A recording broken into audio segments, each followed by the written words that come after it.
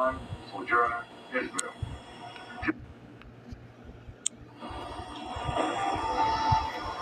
Shalom. I'm priest for sojourner Israel.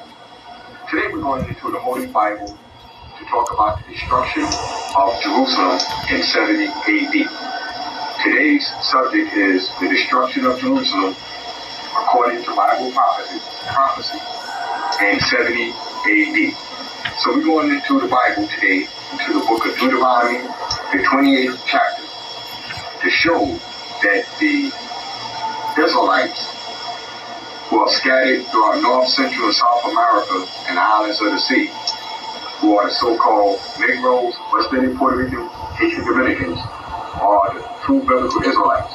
Today we're talking about the so-called Negro in America, the West Indian and the Haitians, the three tribes of Israel that were left in Jerusalem during the time of 70 AD. So today we're going into the Bible to show without a shadow of doubt that this history of the Negroes is recorded right here in this holy Bible.